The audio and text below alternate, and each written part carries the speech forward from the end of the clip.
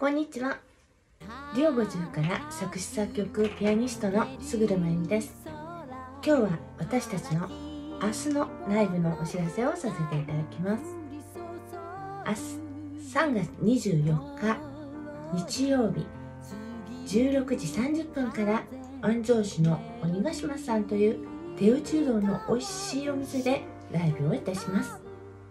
明日はお花見の方もたくさんいらっしゃると思うんですが私たちのライブは16時30分からスタートします。お花をたくさん楽しんできた後にどうぞまたさらに心もお腹も温まる私たちのライブにお出かけください。お待ちしております。